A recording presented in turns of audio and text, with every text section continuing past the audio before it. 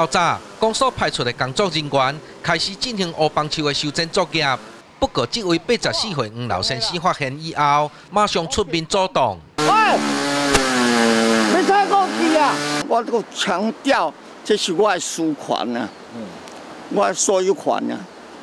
嗯，所以，今麦因要修正这乌棒树嘛，袂使。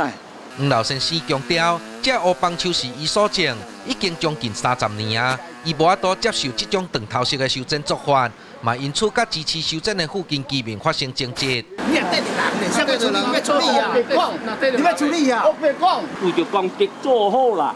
我阿姐嘛，讲有危险啊，什么话？危险，危险我负责。啊，你负责。有伤啊，死啊，我负责。啊，护手，你的精神我嘛该尊重，但是你要爱尊重阮住户，阮这住户的的的的困扰。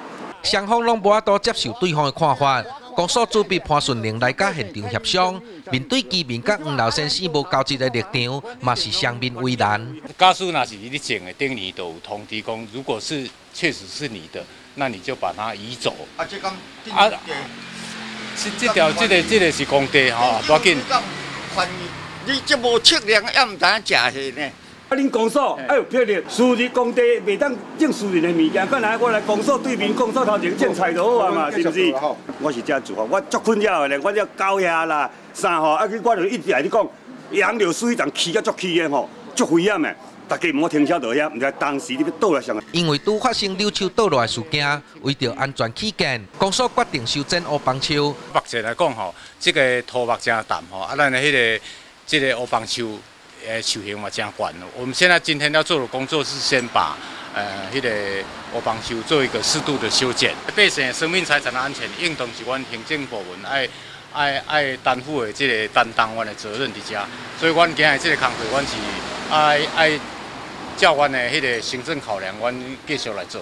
没事，我属于的，你使打叮当。工作人员开始修剪乌棒树，不仅新树啊被锯断一大截，黄老先生也是想要阻挡。我跟你讲过，你莫还等我买。阻挡无效，黄老先生表示要向法院提出告诉。